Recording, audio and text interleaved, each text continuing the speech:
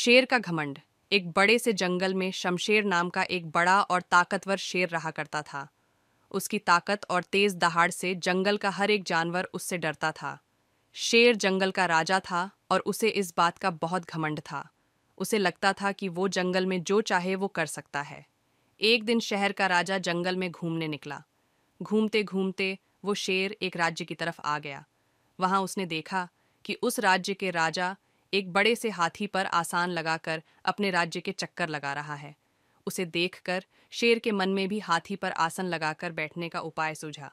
शेर जंगल की तरफ़ वापस आ गया और उसने जंगल के सभी जानवरों को बताया और आदेश दिया कि हाथी पर एक आसन लगाया जाए। बस क्या था? शेर ने जैसे ही आदेश किया, झट से जंगल के सबसे बड़े हाथी पर आसन लग गया। शेर उछलकर हाथी पर लगे आसन में जा बैठा और अपनी तेज दहाड़ के साथ उसने हाथी को चलने के इशारा दिया।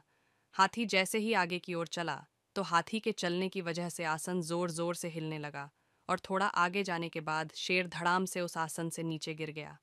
शेर के नीचे गिरते ही सारे जानवर ज़ोर ज़ोर से हंसने लगे। शेर की एक टांग भी टूट गई और फिर शेर खड़ा होकर कहने लगा, इससे अच्छा पैदल चलना ही ठीक होता है।